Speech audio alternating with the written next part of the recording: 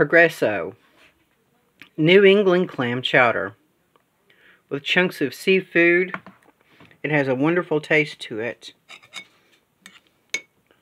I'm going to give it a 9 out of 10. It's excellent.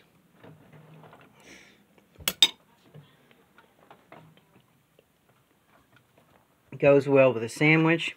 Now it is quite high in um, calorie and um, sodium. 830 milligrams of sodium for one can. Calories 170. Saturated fat is 1.5 grams or 8%. You can freeze frame it on this ingredients here.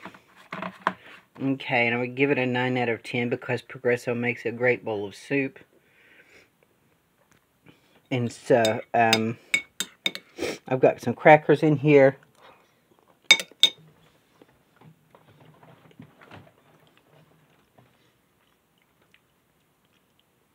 I can taste the oysters and everything inside of it. And this what makes this wonderful, is you can taste the oysters in it. Clam broth, potatoes, clams, soybean oil, water, modified fish starch, onions. So there's clams in it, clam chowder, yes. That's what I can taste in it, the, the clams. So it's really good, the New England clam chowder.